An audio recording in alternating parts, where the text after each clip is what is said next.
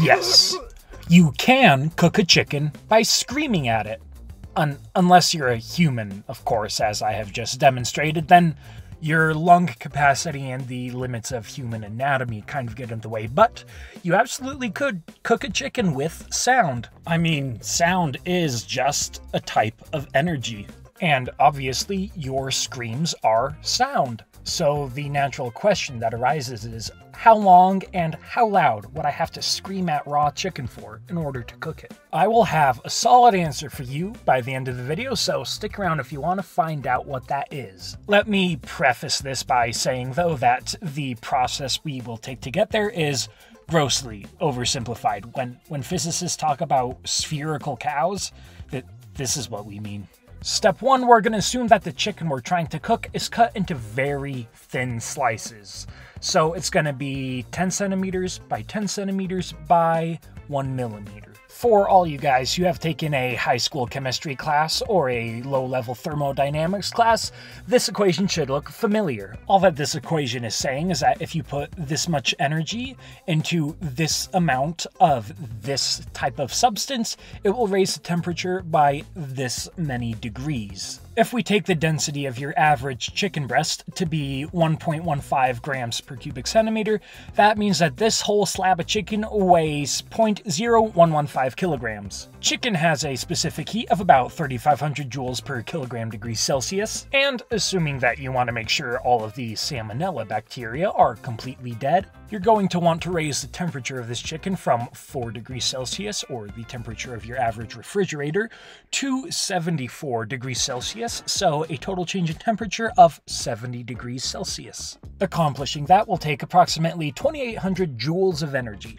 So, if the goal is to hit 100 square centimeters with 2800 joules of energy, we are going to need to produce a sound with an intensity of 281,000 joules per square meter. So, how loud and for how long do you have to scream to do that? Well, first of all, as I'm sure you've noticed, sound dissipates as it travels, meaning it gets less intense the farther away you are which means we need to take the distance from your scream to the chicken into account.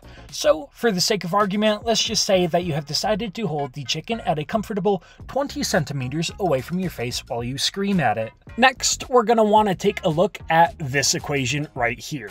All that this is saying is that the decibels, which is what we use to measure loudness, is equal to 10 times the logarithm of the intensity of your sound wave divided by this constant I naught, which is 10 to the minus 12 watts per square meter. Now we're going to take a look at this I right here.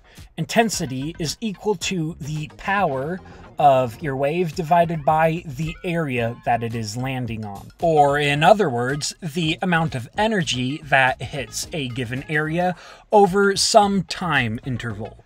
Here we are using 4 pi r squared for the area because sound spreads out spherically from a source, and 4 pi r squared is the surface area of a sphere. So, since this guy equals intensity, we're going to take it and plop it right into that other equation that we were working with. Here is a reminder of what all of those variables stand for if you want a reminder, and, well, let's begin. So, we said that the amount of energy that the chicken needs to absorb is about 2800 joules. And again, we multiply that by 100 so that we have units of joules per square meter. You're going to be holding it away from your face at 20 centimeters.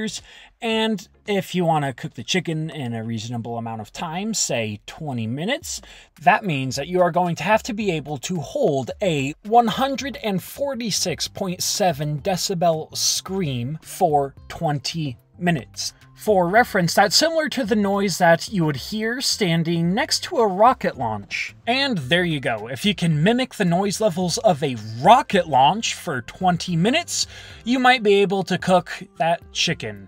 Now, if you are like me, you probably don't have a lot of confidence in your ability to do that. The average human can only scream at about 100 decibels. So maybe the better question is, if I'm screaming at 100 decibels, how long do I have to scream at it for?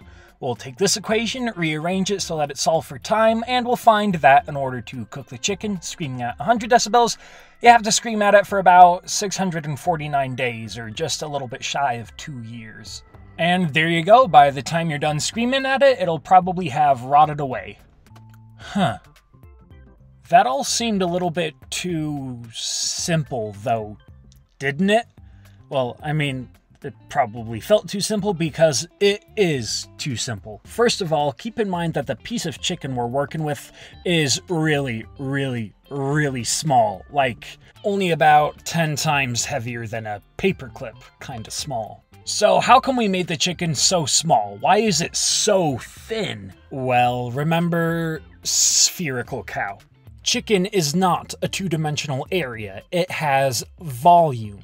As the sound moves through the chicken, it's going to be absorbing energy differently in different places. It's going to be dissipating as it goes through the chicken. Additionally, since sound propagates out spherically, you're going to get different intensities in different spots on the chicken. So the center is going to be overcooked while the edges are undercooked. So I made it so thin and relatively small so that you could approximate it as a two-dimensional thing and not really have to worry about the differences in sound propagation. I did start this problem out trying to solve it the quote-unquote proper way, but I got some really nasty differential equations pretty early on, and I really did not feel like solving them for what is ultimately more of a joke of a video than anything. Because, I mean, unless your name is Karen, you're not going to be able to hold a scream that loud for that long, anyways. Nobody is cooking their chicken by screaming at it. I guess, unless one of you who is watching this video decides, you know what,